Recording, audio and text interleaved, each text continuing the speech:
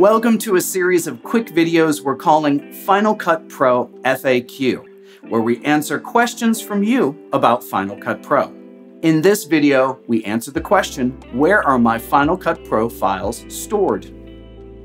The files you use in a Final Cut Pro library are either stored or referenced right in the library file. In Final Cut Pro, select your library and check out the Library Properties window that shows up. Click Storage Locations to see where your media, motion content, render cache, and backups are stored. In my case, my media and cache are stored right in the library. A Final Cut Pro library is a package file. If I go to it in the Finder, I can right-click and choose Show Package Contents.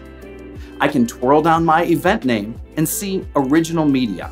So these are reference files, meaning shortcuts pointing to the media elsewhere on my machine.